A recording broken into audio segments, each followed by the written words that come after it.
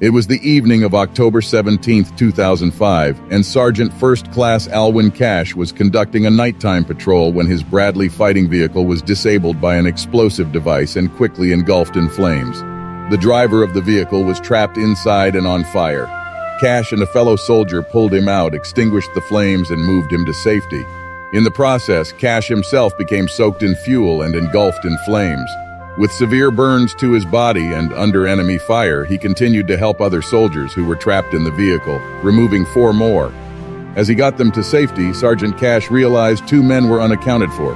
He went back to the burning vehicle and retrieved them. When the medical evacuation helicopters arrived, Sergeant Cashe refused to board until all of the wounded soldiers were evacuated first.